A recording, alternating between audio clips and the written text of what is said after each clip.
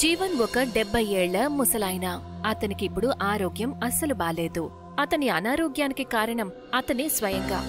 అతను తన జీవితమంతా ఎప్పుడూ కూడా తాజా ఆహారాన్ని తీసుకోలేదు. ప్రతిరోజు ఫాస్ట్ ఫుడ్స్ తినేవాడు. ఆ కారణంగానే ఇవాళ అతను హాస్పిటల్లో అడ్మిట్ అయ్యాడు.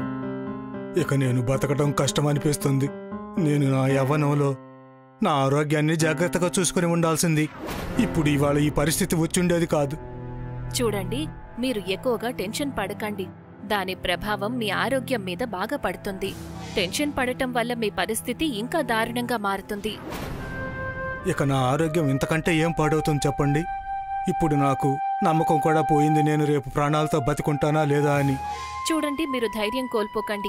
మేము మిమ్మల్ని కాపాడడానికి అన్ని విధాలా ప్రయత్నిస్తున్నాము. ఇక నన్ను ఆ దేవుడే కాపాడగలడు. ఇంకెవరూ నన్నేమీ చేయలేరు. జీవన్ భగవంతుణ్ణి ప్రార్థించి హాస్పిటల్ బెడ్ మీద పడుకుంటాడు. అతను నిద్రపోవడానికి ప్రయత్నిస్తాడు. కాసేపట్లో గాఢ నిద్రలోకి జారుకుంటాడు. అప్పుడు అతనికి ఒక కల వస్తుంది. ఒక గుహలో మాయారాయి ఉంటుంది. దాన్ని చెక్కి డంబల్ చేసి ఎక్సర్సైజ్ చేసి ఆరోగ్యాన్ని బాగు చేసుకోవచ్చు అనుకుంటాడు. డాక్టర్ నన్ను డిశ్చార్జ్ చేయండి. నేను ఇప్పుడు మా ఇంటికి వెళ్ళాలనుకుంటున్నాను. సారీ ఇప్పుడు మేము మిమ్మల్ని డిశ్చార్జ్ చేయడం కుదరదు. మీ పరిస్థితి అస్సలు బాలేదు.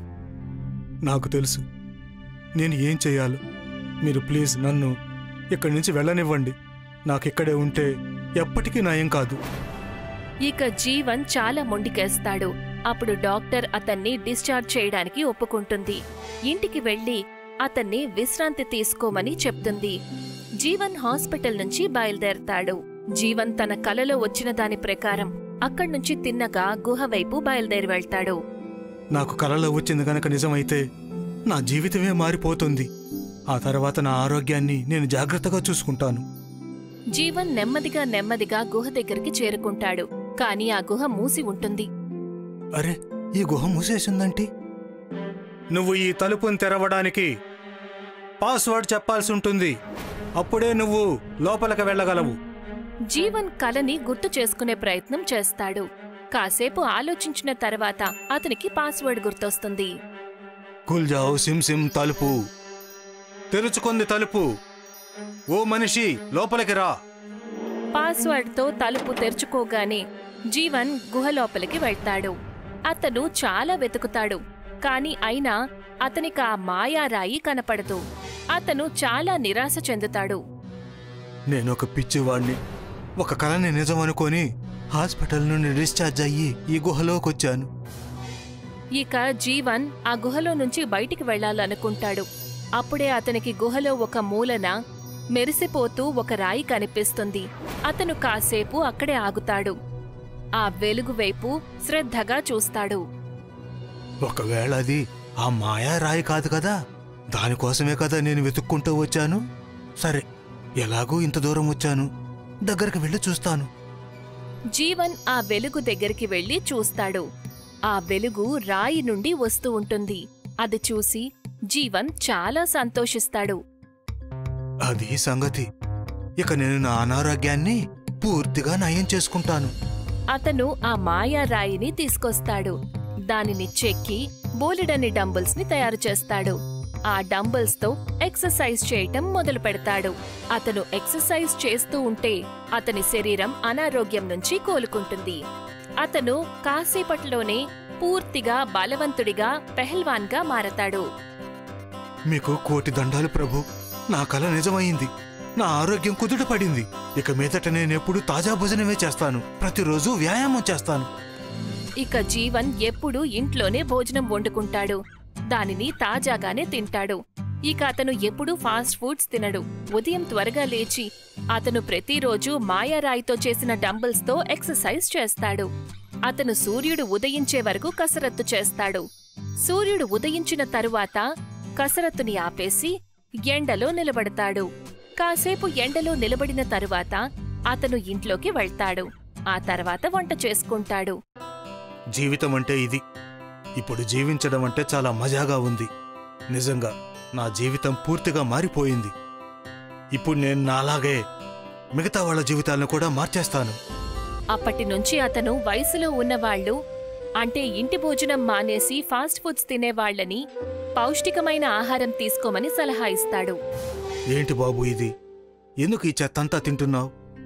మీ ఇంట్లో వంట చేయటం లేదా ఏంటి? ఇదేమీ చెత్త కాదు. దీన్ని చామిన్ అంటారు అయినా నా ఇష్టం. మీరెవరు చెప్పడానికి? బాబు ఈ చైనీస్ భోజనం నీ ఆరోగ్యాన్ని దెబ్బతీస్తుంది. నేను స్వయంగా దానికి బలయ్యాను. ఇప్పుడు నాలాగా మిగతా వాళ్ళ ఆరోగ్యం కూడా పాడవటానికి వీల్లేదు. జీవం శివంతో మాట్లాడుతూ ఉంటాడు. అంతలో తన కడుపులో చాలా నొప్పి మొదలవుతుంది. నా కడుపులో చాలా నొప్పిగా ఉంది. జీవన్ శివంని డాక్టర్ దగ్గరికి తీసుకువెళ్తాడు. అక్కడ డాక్టర్ తనని ఫాస్ట్ ఫుడ్స్ తినకూడదు అని సలహా ఇస్తుంది. నీ కడుపులో ఫాస్ట్ ఫుడ్స్ తినడం వల్ల చెత్తంతా పేరుకుపోయింది. ఇక నువ్వు ఫాస్ట్ ఫుడ్స్ తినడం ఆపకపోతే ఆపరేషన్ చేయాల్సిన పరిస్థితి వస్తుంది. వద్దొద్దు. నేనేమి ఆపరేషన్ చేయించుకోను. నాకు ఆపరేషన్ అంటే చాలా భయం. దానికి బదులు ఇవాటి నుండి నేను ఫాస్ట్ ఫుడ్ ఏమీ తినను. ఎక్సర్సైజ్ చేయటం మొదలు పెడతాను. అప్పట్నుంచి శివం ప్రతిరోజు జీవన్ జిమ్కి వెళ్ళి ఎక్సర్సైజ్ చేస్తాడు.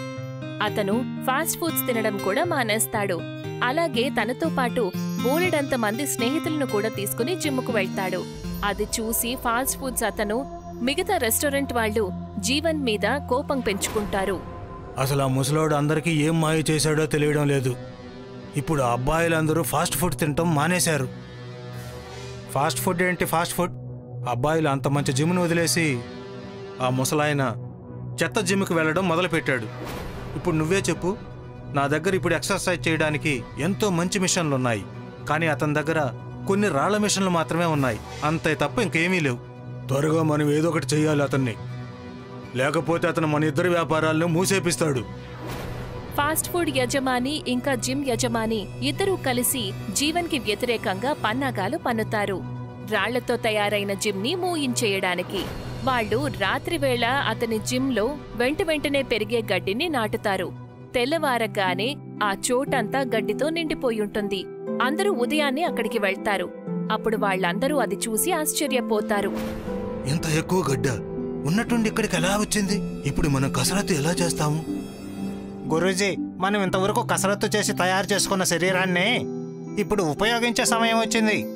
మనం అందరం కలిసి ఈ గడ్డిని పూర్తిగా తీసి పడేద్దాం ఇక శివం జీవన్ ఇంకా అఖాడాలో ఉన్న కసరత్తు చేసేవాళ్ళు అందరూ కలిసి ఆ గడ్డిని పీకేస్తారు. చూస్తూ ఉండగానే వాళ్ళందరూ కలిసి బోలెడంత గడ్డిని శుభ్రం చేస్తారు. అప్పుడే జీవన్ బుర్రలోకి ఒక ఉపాయం తడుతుంది. వాళ్ళందరినీ గడ్డి తీయొద్దని చెప్తాడు. నా ఉద్దేశం ప్రకారం ఇప్పుడు మనం కొంత గడ్డిని వదిలేయడం మంచిది. అది మనం కసరత్తు చేసేటప్పుడు మన శరీరానికి మట్టి అవ్వకుండా ఆపుతుంది. అఖాడా కూడా పచ్చగా ఉంటుంది. అవును. ఇది చాలా మంచి ఉపాయం. అయినా గడ్డి మీద నడవడం వల్ల బ్లడ్ ప్రెషర్ చాలా బాగుంటుంది. ఇక అందరూ కలిసి మిగిలిన గడ్డిని లాన్లో ఉండే గడ్డిలాగా చక్కగా దగ్గరికి కట్ చేస్తారు. ఇప్పుడు మన జిమ్ ఇంకా చాలా అందంగా కనిపిస్తుంది. ఇది చూసి పెద్ద ఇంటి వాళ్ళు కూడా మన జిమ్కే వచ్చి కసరత్తులు చేయడం మొదలు పెడతారు జీవన్ చెప్పిన మాట నిజమవుతుంది. ఇక నెమ్మది నెమ్మదిగా అందరూ జీవన్ రాతి జిమ్ఖానాకి రావడం మొదలు పెడతారు. జీవన్ కూడా అందరికీ కసరత్తు చేయడం చక్కగా నేర్పిస్తాడు. నా జిమ్ మూతబడిపోయింది. ఎవరు జిమ్ చేయడానికి రావడం లేదు. నా ఫాస్ట్ ఫుడ్ కౌంటర్ని నేను మూసేశాను. ఎందుకంటే నా కొడుకు ఫాస్ట్ ఫుడ్ తిని అనారోగ్యానికి పాలయ్యాడు. నా పిల్లలకే నేను చేసింది తినిపించలేనప్పుడు ఇక ఎదుటి వాళ్ళకు నేను ఈ విషయాన్ని ఎలా తినిపించగలను? ఇక ఫాస్ట్ ఫుడ్ ఓనర్ కూడా స్వయంగా కసరత్తు చేయటం మొదలు పెడతాడు. అందరినీ కసరత్తు చేయడానికి తాజా భోజనం చేయడం గురించి అర్థమయ్యేలా చెప్తాడు.